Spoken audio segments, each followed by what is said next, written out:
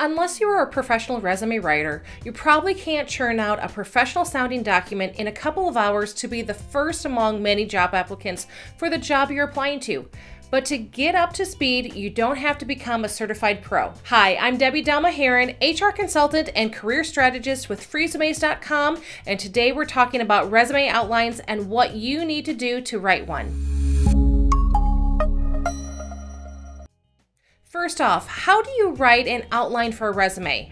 Think of a resume outline as your scaffolding, a helping structure to organize your skills and relay your work experience in a structured manner. To create a professional resume outline, do some prep work first. First, make a list of your core competencies, the work areas where you excel the most. Then break those down into a list of your soft and hard skills. Prioritize them by marketability. Now think about your latest accomplishments. What made you successful in every role? You will want to make a list of extra professional training as well. You are now ready to analyze the current job market. Are there any new in demand skills recruiters are looking for? Do you have them? Can you develop them fast? Finally, dump all of your thoughts into a plain Word file then start outlining. It's best if you start with a resume template if you don't want to start with a blank page. A professional resume template offers a fast track to writing productivity. Resume templates provide a ready to use design with all the main resume sections outlined already for you. You just have to fill in the blanks with your personal details. Once you're done, you'll have a resume copy and reusable outline that you can customize for every job application fast. If you use a professionally designed and eye-catching resume template, you will not have to start a new resume for each job application. We know what you're after, so let's get straight into the action. I'm going to share with you a couple of sample resume outlines you can use for writing alongside our free resume templates. You can find the link in this video description to download the templates. First, let's start with the simple resume outline. Here's an outline for a resume with some writing prompts.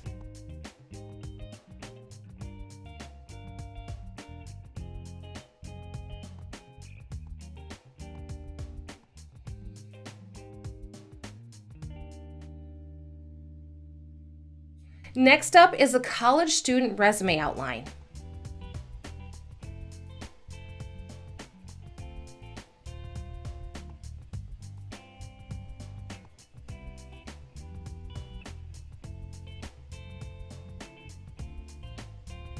Now let's focus on how to outline your resume like a pro. Resumes are structured business documents. So as a first step, sort out the resume header area featuring your name, title, contact information, and website or LinkedIn links if you would like to include those. Then the resume body by putting down information in the work experience and education section. Leave some space at the end of the page for a featured skills or extra qualifications area. You can scrap both of those if needed. Remember to stick with a professional resume font and use it consistently for headers, subheadings, and main text. Don't mix different fonts unless you have a design streak in you. Now let's move on to the next steps for fleshing out your resume outline. You will need to choose which section comes first. You have some flexibility when it comes to the first section of your resume. For instance, you can go go for a formal resume objective, resume summary of qualifications, personal branding statement, or informal About Me section. There's no right or wrong option, but the choice really boils down to your industry experience levels and the type of company you're applying for. As a creative professional after a hip agency job, you may do better with a resume summary or personal branding statement. But if you are after an executive or corporate job, an objective may be more fitting.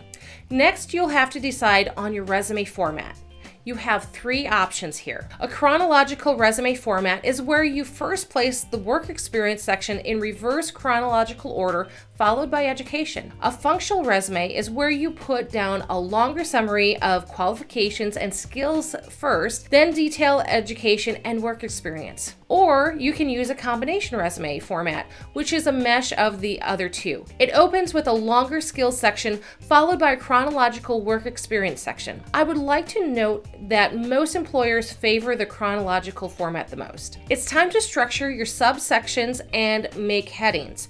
Your section heading acts as a shortcut so the employer reading your resume can jump to the sections that they are interested in without reading your whole resume. Put down the standard resume sections in this order header, summary, skills, work experience, education, and training. Then organize your information around those. A resume outline is a flexible document. You can tweak headings and add, remove, or swap sections if that makes sense. You will want to make a generic resume first, then tailor. Writing an all purpose resume first is a great time saver because it stops you from staring at a blank page and it makes customization easy. Start by filling out each section of the outline with your information based on the facts.